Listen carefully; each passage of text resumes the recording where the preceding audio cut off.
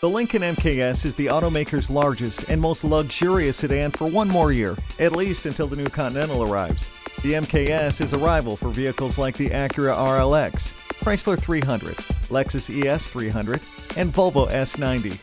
The MKS has a restrained look, with a high belt line and a short abbreviated roofline and deck lid. Inside, the MKS has a low-set dash with a touchscreen infotainment system taking up much of the center console. A 3.7-liter V6 makes 304 horsepower in the standard MKS. On the options list, there's a twin-turbo 3.5-liter V6 with 365 horsepower. All-wheel drive is an option. Power is sent to the front or all four wheels through a 6-speed automatic transmission.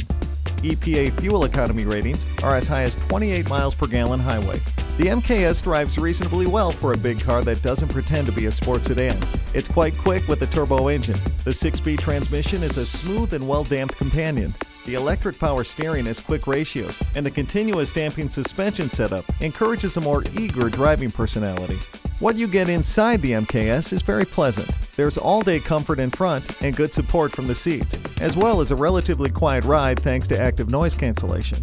For a large sedan, the headroom is a bit compromised for taller adults thanks to the rear glass and arched roofline. The NHTSA gave the MKS a 5-star overall rating, but it received a poor rating in the IIHS small overlap test.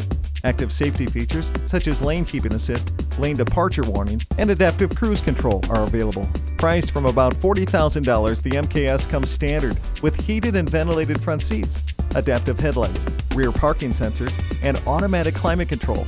Available options include premium audio and power adjustable pedals.